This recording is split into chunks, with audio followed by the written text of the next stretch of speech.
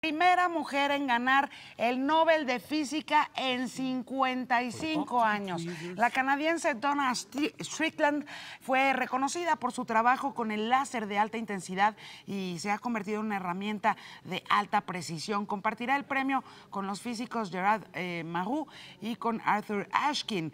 Strickland es la tercera mujer en lograr este galardón luego de Marie Curie en 1903 y María Goeppert en 1963.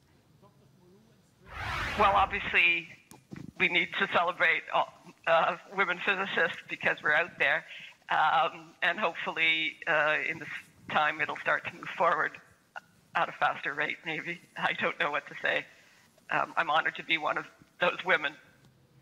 Qué emocionante, porque además hay mujeres que hoy afortunadamente ya son visibles, porque las ha habido siempre. El tema es que antes no las dejaban ver o eran hombres quienes firmaban con su nombre los trabajos que mujeres habían realizado y fueron muy pocas, muy pocas las que en el pasado dijeron, esto lo hice yo porque además no les daban permiso, ¿eh? no les daban chance.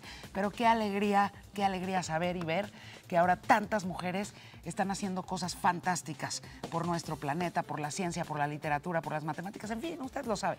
Imagen Noticias con Yuridia Sierra, lunes a viernes 2 pm. Participa en Imagen Televisión.